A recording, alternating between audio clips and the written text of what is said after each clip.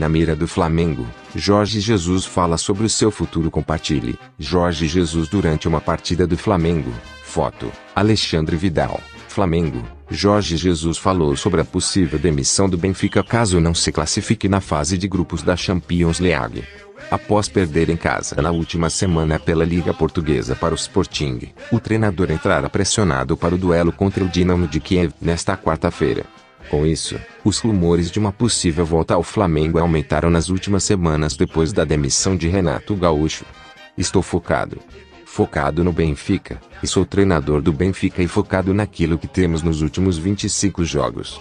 No último jogo, contra o Sporting, tentei passar à equipe tudo aquilo que nos aconteceu e por que que nos aconteceu para que amanhã, quarta, a equipe venha muito mais confiante face ao resultado. Nesta casa ninguém está habituado a perder muitas vezes com o rival, Sporting, e eu já joguei 18 vezes com eles. 18. Isso já faz parte do passado, analisou Jesus na entrevista coletiva.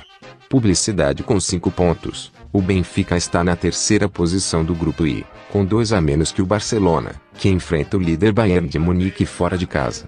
Se vencer, e o time catalão empatar ou perder para os alemães, os encarnados avançam de fase pela primeira vez desde a temporada 2016-2017.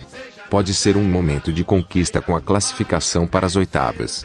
Algo que, antes do início da competição, para muita gente era impossível. Se acontecer, temos de olhar para nós. Ganhar, não há outra hipótese. Estamos falando de uma disputa na última rodada com o Barcelona, uma equipe que nos últimos 18 anos nunca ficou fora, disse Jesus.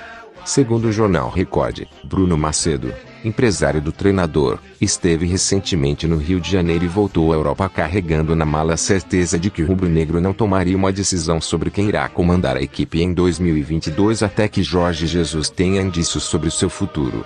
Retirado de ES